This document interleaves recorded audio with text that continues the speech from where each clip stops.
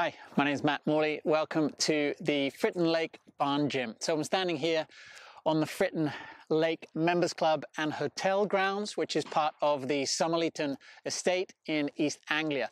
Lord Somerleyton, the owner of the estate and very much the visionary behind uh, what is today the Fritton Lake experience, gave a very clear brief when he brought me, BioFit, in on this project. The idea was to create a synergistic connection between what he's doing in terms of rewilding and regenerating the farmland around us here on the estate with a similarly nature oriented experience in terms of the gym.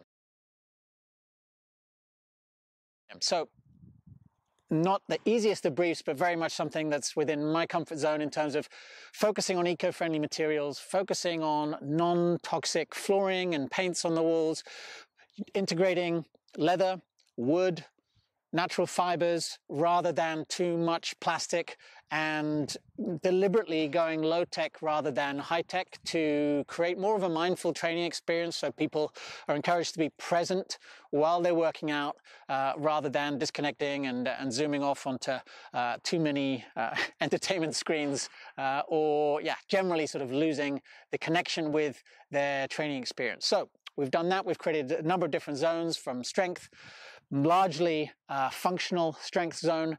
Uh, we've then got the cardio zone, mobility and stretching, and a natural movement space, as well as a small group studio training area.